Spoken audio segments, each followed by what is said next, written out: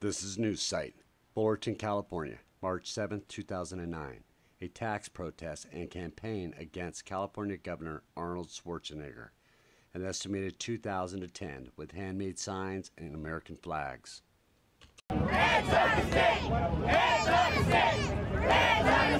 Was the theme of the day. The point was no new taxes. Yet the rally was led with anger. What did the children learn about taxes? What was accomplished by blaming the governor or any other one person? Things will only change when we take responsibility for our community, our state, our country, and our world.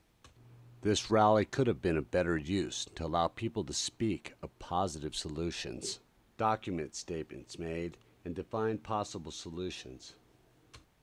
One could find it very hard to believe that with over 2,000 people joined on a common goal, that there would not be one real possible solution. We're struggling, everyone. Now, look at this great sign somebody put up. Now, where did you come from? Pasadena? Pasadena.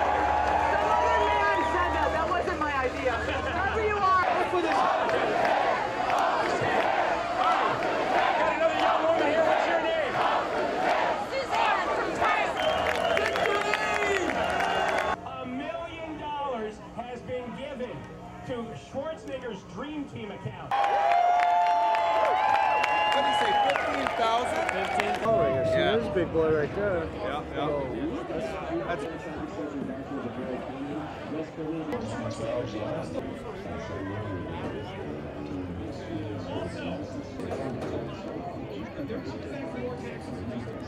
Hey, wait.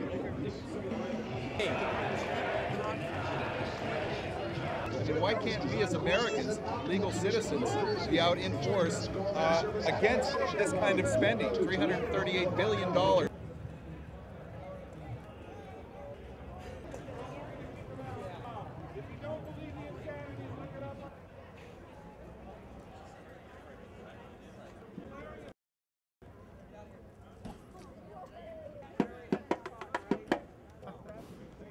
Rather be oblivious and blissful and walk.